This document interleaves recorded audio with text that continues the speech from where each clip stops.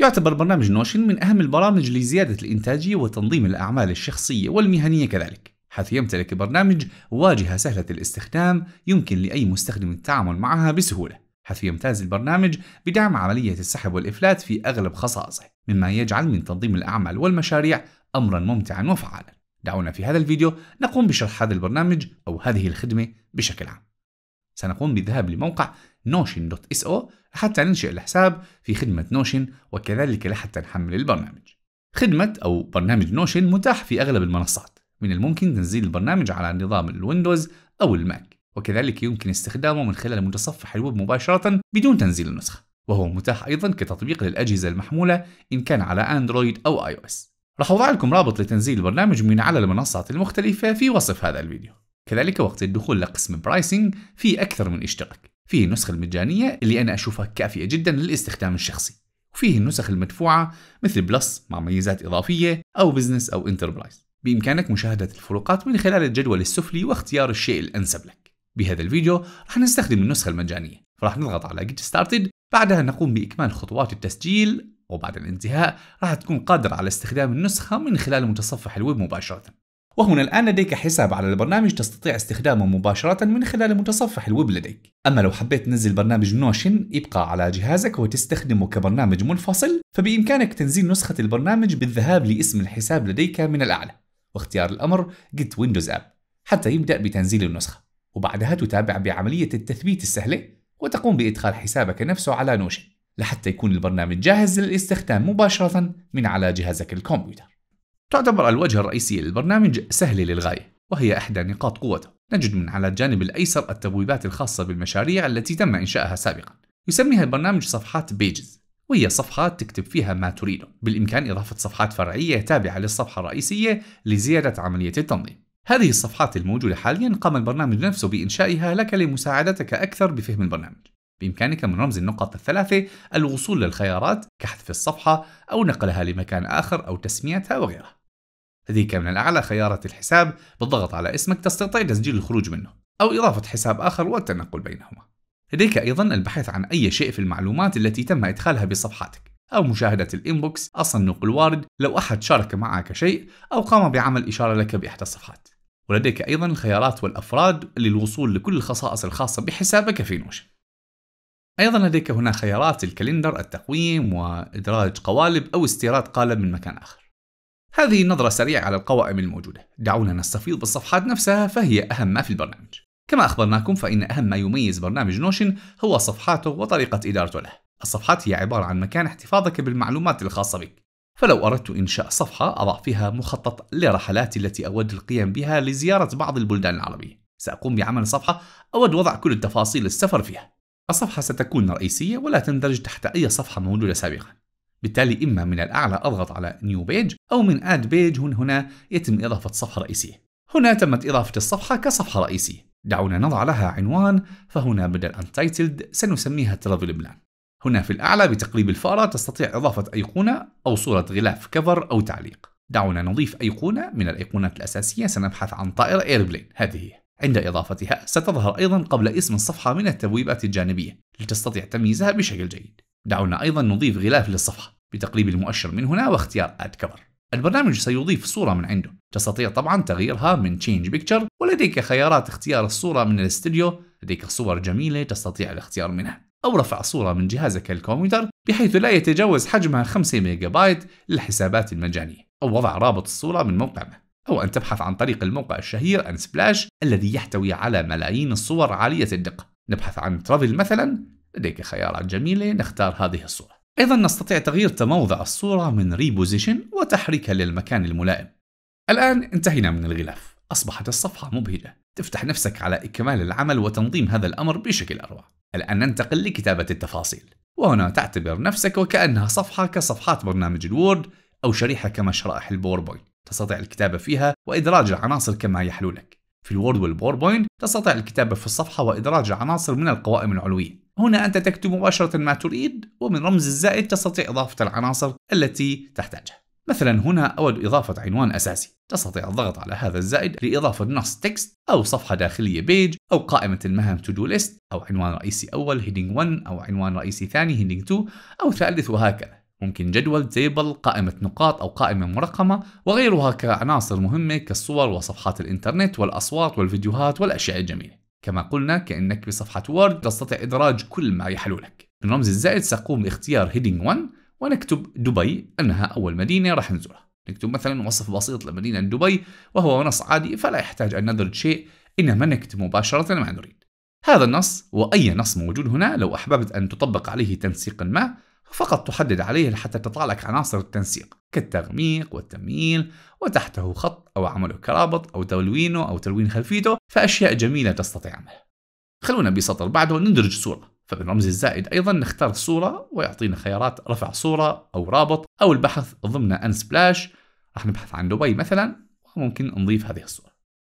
ممكن أوضع أهم المعالم اللي راح نزورها بدبي راح أكتب places هون أنا ما ضفت heading كعنوان. ولكن بإمكاني بعد ما أكتب النص أغيره لعنوان فمن النقاط جانب هذا السطر أنقر عليه وتعطينا خيارات مثل الحذف والتكرار والنقل ومنها التحويل إلى turn into. أختار heading two أي عنوان أساسي ثاني ومباشرة يتم تحويل هذا السطر له هون ممكن أكتب أهم المعالم اللي ممكن نزورها؟ مثلا برج خليفة، Atlantis Water Park، Museum of the Future و Aura Sky Pool. هاي أهم المعالم اللي ممكن نزورها في دبي. راح أحدد عليها سوية ومن رمز النقاط أحولهم كلهم لقائمة منقطة bullet list نضيف صورة لكل وحدة وممكن موقعهم من أجل سهولة الوصول إلهم. ممكن أضغط على enter وأحذف النقطة هذه راح أضيف صورة يا إما أضغط على هذا الزائد وأكتب image وهون مباشرة يأخذني عليها وأختارها. خليني أبحث ضمن Unsplash على برج خليفة. ممكن أنزل هذه حتى تنزل بهذا المكان. نشوف أن الصورة كبيرة قليلا. نستطيع تصغيرها من الخطوط الجانبية للصورة. وكذلك من الممكن تغيير محاذاتها وخصائص هذه الصورة من رمز الثلاث نقاط هذه. لديك خيارات عديدة ومن بينها المحاذاة. نجعل محاذاة الصورة لليسار left. الآن ننزل لسطر جديد بالضغط على enter ونقوم بإدراج موقع برج خليفة من على Google Maps أنسخ رابط الموقع من هنا وبالعودة ل Notion ألصق الرابط بشكل مباشر. وهو سيتعرف عليه كرابط أستطيع متى ما أردت بالنقر عليه والذهاب للموقع مباشرة. خليني أكتب قبله كلمة location وأحدد عليه حتى تطلع لي خيارات التنسيق وأجعله غامق فقط. بالنسبة ل Atlantis Water Park نفس الأمر أضيف سطر وأحذف النقطة وممكن أضيف الصورة بنفس الطريقة وممكن كذلك فقط أكتب رمز ال slash وبعدين أكتب العنصر اللي أريد أضيفه وهو الصورة image حتى فورا يأخذني لهذا العنصر. فيعني دائما إذا تكتب ببداية السطر رمز ال slash العصا المائلة فهون بمثابة أنك تريد تدرج عنصر. تكتب فقط كم حرف من بداية اسم العنصر لحتى يجيب لك إياه وتقدر تختار نزل صورة ال Atlantis Water Park بنفس الطريقة من Unsplash وأكتب كلمة location أجعلها غامقة وأوضع الرابط تحتها. ونتابع وننزل صورة متحف المستقبل وصورة Aura Sky Pool. من الممكن أيضا أن نقوم بتغيير هذه بدل أن تكون نقاط ممكن أخليها كقائمة مطوية تسمى toggle list. راح أحدد على عنوان برج خليفة ومن النقاط جانبها أختار تحويل إلى turn into وأختار ال toggle list. وهذه ستصبح قائمة مطوية ممكن أطويها وأفتحها أيمت ما أريد راح أوضع بداخلها الصورة والرابط فأحدد عليهم كلهم هذولا ومن رمز النقاط بجانبهم أسحبهم إلى هذه ال toggle list حتى الآن تصبح بداخلها نطويها ونوسعها بأي وقت نريد.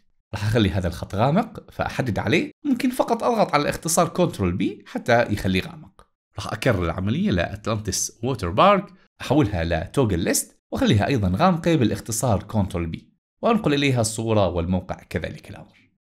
وهكذا متابع للبقية.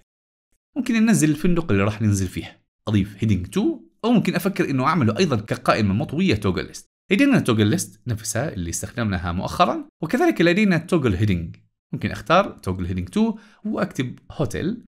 راح يكون فندق هو هيلتون جميرة هذا الفندق اللي راح أنزل فيه فندق جميل. عندي هنا رابط الفندق راح أنسخه وألصقه هنا لكن ممكن ما ألصقه لصق مباشر. ممكن أجيب عنصر web bookmark وهذا أدخل الرابط بداخله وهو راح يكون يعني رابط ولكن يعطيك شكل الموقع مباشرة كصورة يعني مثل ما نشوف أمامنا. هذا هي ممكن أضغط عليها وينقلني للموقع مباشرة. هنالك العديد من الأشياء الجميلة التي ممكن إضافتها لصفحتك. أنصحكم بمشاهدة كل العناصر التي تستطيعون إضافتها من رمز الزائد لمعرفة إمكانيات هذا البرنامج. الآن خلونا ننتقل للمكان الثاني وليكن الرياض لحتى نزورها راح أضيف خط مستقيم يا أما من رمز الزائد يا أما أوضع رمز ال slash وأكتب divider هذا نشوف خط منصف يعني مشان أنتقل لشيء جديد. راح أضيف عنوان أول ف slash heading هذا هو. أضغط enter حتى ينضاف وأكتب الرياض مباشرة. نكتب وصف بسيط للرياض. نحدد على هذا النص وممكن أخليه بخلفية بسيطة شوي.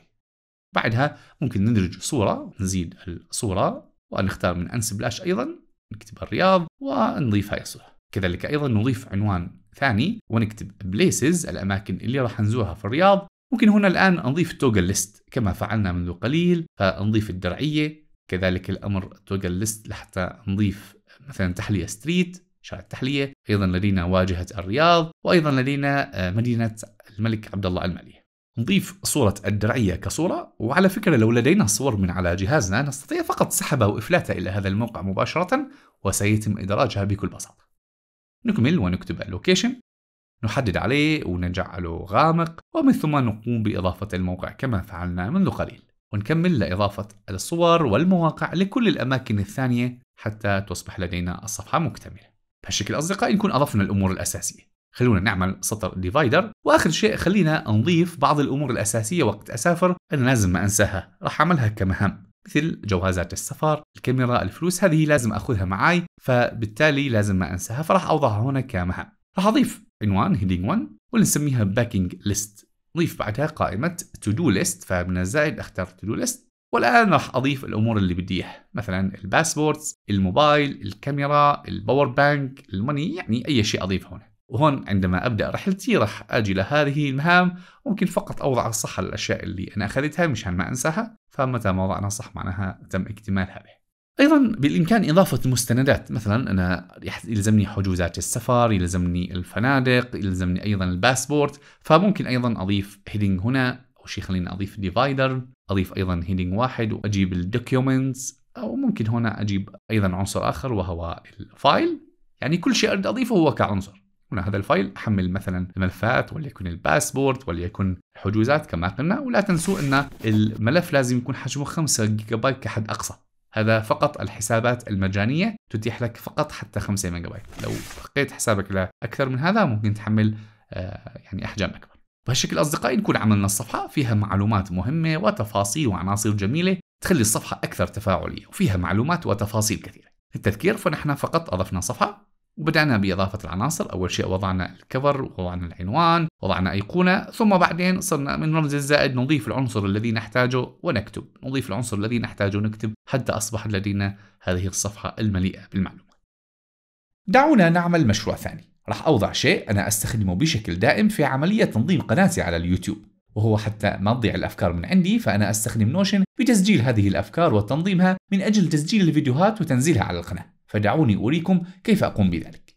سأقوم بإضافة صفحة جديدة راح أسميها يوتيوب وأضيف أيقونة يوتيوب في البداية. الأيقونات الأساسية لا يوجد فيها يوتيوب على حسب علمي فممكن أبحث في الإنترنت على يوتيوب واختيار الصورة المناسبة. راح أنسخ رابط هذه الصورة copy image link وبالعودة ل Notion من الغلاف من قسم custom أوضع الرابط هنا وأؤكد من ثم شوف الأيقونة ظهرت أيضا من خلال التبويبات الجانبية. نضيف أيضا صورة غلاف من Unsplash أو ممكن أختار لون عادي من هنا أتوقع save بالغلط. الآن بالنسبة لي أنا أنزل في اليوتيوب ثلاث أنواع من الفيديوهات كورسات كاملة و shorts وفيديوهات مختلفة. هنا بالإمكان إضافة صفحات داخلية ممكن رمز الزائد أو أوضع slash كما عرفنا وأختار page حتى يقوم بفتح صفحة جديدة. هنا وكأنك بدأت من الصفر. وتكمل مثل أي صفحة نحن اشتغلناها سوى أنه هاي الصفحة الآن أصبحت تتبع الصفحة الأساسية صفحة اليوتيوب. نكتب مثلا videos نضيف أيقونة ولتكن أيقونة الفيديو وغلاف مثل ما عملنا أكثر من مرة. الآن لو نفتح من اليسار يوتيوب ستجد بداخلها صفحة الفيديوهات. هذا لزيادة التنظيم أكثر فأصبحت صفحة بداخل صفحة. وبإمكاني طبعا أن أقوم بإضافة صفحة داخلية بداخل ال videos وهي تتبع ال videos وتتبع لليوتيوب يعني متى ما تريد تصبح العملية تنظيمية أكثر. لو تفتح صفحة يوتيوب ستجد بداخل هذه ال videos خلونا نعمل صفحة أخرى باسم كورسز وصفحة shorts ونأخذ الخيارات الثانية. ممكن نضيف الصفحة الجديدة مباشرة من هنا من رمز الزائد وستكون صفحة كورسز. ونأخذ أيقونة بسيطة للكورسز ونعمل أيضا cover ونأخذ أي صورة. نحن صرنا عارفين كيف نقوم بذلك. والآن نضيف صفحة جديدة. من الممكن إضافة صفحة داخلية تتبع لصفحة اليوتيوب مباشرة من القوائم الجانبية من هنا. الضغط على رمز الزائد هذا والذي سيقوم بإضافة صفحة داخلية له. نسميها باسم shorts ونضع لها أيقونة وأيضا غلاف لهذه الصفحة. الآن مثل ما نلاحظ لدينا صفحة رئيسية باسم يوتيوب وبداخلها صفحة فرعية فهذا أيضا أهم ما يميز Notion أنك تستطيع وضع صفحة بداخل صفحة وتنظم العملية بشكل أفضل حتى تصل لما تريد. تستطيع وضع صفحة بداخل كل صفحة من هذه الصفحات لتنظيم العملية أكثر وتستطيع نقل أي صفحة لصفحة أخرى بشكل سهل عن طريق السحب والإفلات وهكذا هي عملية التنظيم داخل Notion. هنا في الصفحة الرئيسية يوتيوب نستطيع أن نكتب قبل أو بعد هذه الصفحات وكأنه هذه الصفحة هي عناصر. ومتى ما أردت تستطيع الضغط على هذه الصفحة للدخول. له هنا راح نضيف عنصر database قاعدة بيانات وهذا العنصر مهم ضمن Notion لأنه راح يحتفظ بالبيانات كقاعدة كقاعدة بيانات. يمكن إعادة تنظيمها بأي وقت مثل ما سنشاهد بعد قليل. تعتبر أيضا هذه ال database كصفحة أيضا أي عنصر منفصل بالإمكان إدخال فيه ما يحلو لك من بيانات. أنا هنا أضفت table view ضمن قسم ال database وهنا نشاهد وكأنه صفحة منفصلة. يمكن وضع عنوان ك YouTube videos وليكن. وهذا العنوان نعتبره عنوان لقاعدة البيانات هذه. وكما قلنا فإن قاعدة البيانات تعتبر وكأنها صفحة منفصلة. لو ضغطنا عليها من القوائم الجانبية سنجدها تفتح في صفحة ونستطيع وضع لها أيقونة وغلاف. ولكن بهذا الشكل سيصبح لدينا صفحة يوتيوب وبداخلها صفحة اليوتيوب videos وبداخلها القاعدة لو أحببت أن تكتفي فقط بالقاعدة أن تتبع مباشرة لليوتيوب بدون أن يكون هنالك صفحة قبلها. فنستطيع فقط سحب هذه الصفحة وترقيتها لتصبح تتبع مباشرة لليوتيوب. وبإمكانك طبعا حذف هذه الصفحة لو لم تعد بحاجتها والآن نقوم بتعيين غلاف وأيقونة لصفحة البيانات هذه.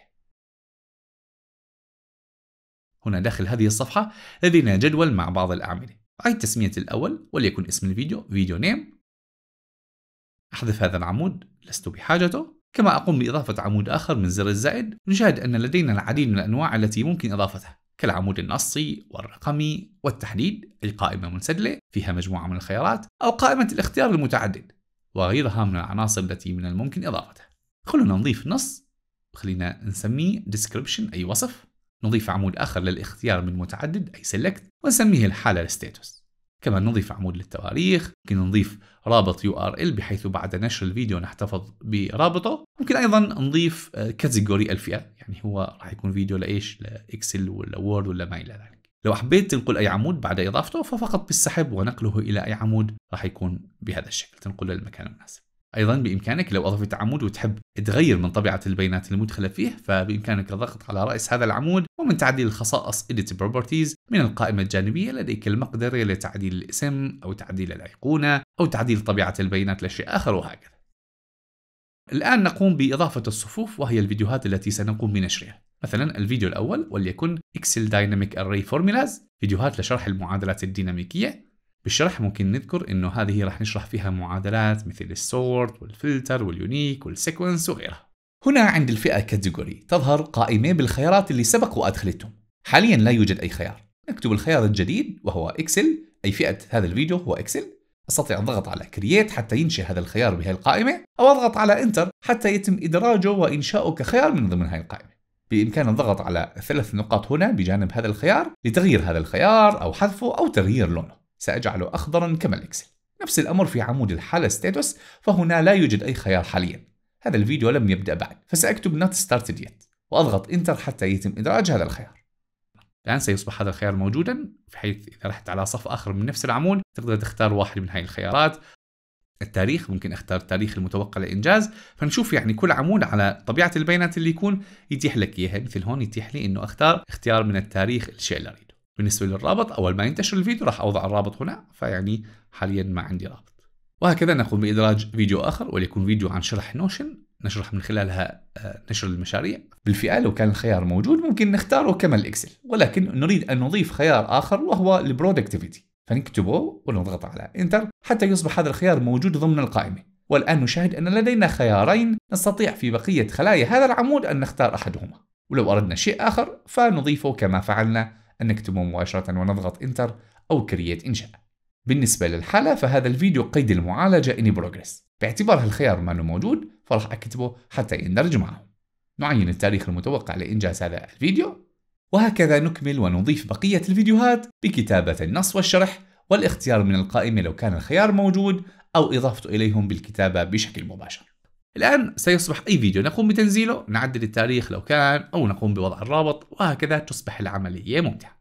بعد انتهاء إدخال الصفوف الآن تصبح العملية بالفعل ممتعة جدا.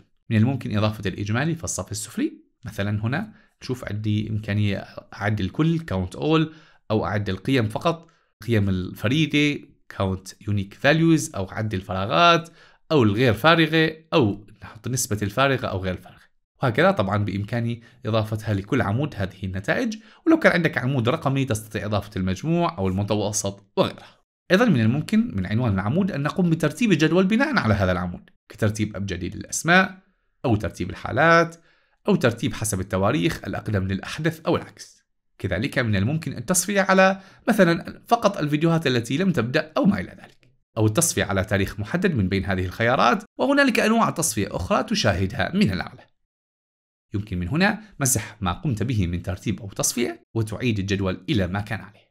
كذلك من الأشياء الجميلة التي تستطيع مشاهدتها من خيارات الجدول من رمز الثلاث نقاط هذه أنك تستطيع تغيير تخطيط هذا الجدول من أوت من الممكن جعل هذا التخطيط بشكل بورد ليصبح كما البطاقات يمكن نقل البطاقات من مكان لآخر. كان يصبح الفيديو هذا قيد المعالجة. فأنقله لعمود in progress. هذا النمط جميل جدا ومستخدم بكثرة. ممكن أيضا تغيير التخطيط ليصبح كخط زمني. هذه تفيد المشاريع والمهام. وكذلك كتقويم أو كقائمة لكل واحد منها عرض جميل ومميز تستطيع استخدامه. لا تنسوا أصدقائي أن طريقة العرض هذه تتم لنوع ال database التي أضفناها لأن نوشن يحتاج الاحتفاظ بالمعلومات كقاعدة بيانات ليستطيع تغيير التخطيط بضغطة زر كما نود الإشارة إلى أن كل صف من صفوف الجدول هذه هي عبارة عن صفحة كذلك الأمر. أي مثلا يمكن فتح هذا الصف من كلمة open لمشاهدة جميع التفاصيل التي وضعناها له كما يمكن إضافة تفاصيل أخرى في النهاية مثل سكريبت أو صور أو روابط أو فيديوهات كما لو أنك بصفحة منفصلة. فهذه هي قوة نوشن كل ما يتم إدخاله يمكن معاملته كصفحة منفصلة وتستطيع وضع فيها ما تريد. أتوقع إلى هنا تصبح لديكم نظرة كافية لطريقة تعامل نوشن مع الصفحات وكيف تقوم بإضافة الصفحات والعناصر بداخلها لتنظيم أعمالك ومشاريعك وأفكارك بطريقة ممتعة. بالنسبة لي أستخدمه لوضع أفكار الفيديوهات التي أقوم بإدراجها أوضع فيها أفكار وخطط مستقبلية لأعمالي الخاصة والمهنية أضع فيها أيضا تفاصيل حساباتي البنكية للوصول لها بسرعة أضع فيها المصاريف الشهرية مستندات مهمة أقوم بمشاركتها دائما مع الغير وغيرها الكثير. تجدر الإشارة إلى أنك بشكل دائم تستطيع إضافة قوالب جاهزة تستطيع الاستفادة من الأفكار الموجودة فيها من خيار تملت هنا لتجد عدد من الأفكار الملهمة التي تستطيع استخدامها في نوشن كما تجب الإشارة إلى أننا حاليا استخدمنا نسخة الديسكتوب ولكن تستطيع متى ما أردت من أي متصفح الدخول لنفس حسابك ومشاهدة كل ما قمت بعمله من أفكار ومتابعته. وكذلك لو قمت بتثبيت برنامج نوشن على جوالك تستطيع المتابعة من خلال جوالك مباشرة عندما تدخل من نفس الحساب وتستطيع أن تدير العملية من جوالك من الآيباد من الجهاز الكمبيوتر ومن كل مكان أن ترتب أفكارك وتتابعها بأي وقت تريده. أتمنى أن يكون هذا الفيديو مفيد لكم أصدقائي وتستطيعون الاستفادة من نوشن من تنظيم أعمالكم اليومية. لكم مني كل التحية والسلام عليكم ورحمة الله وبركاته.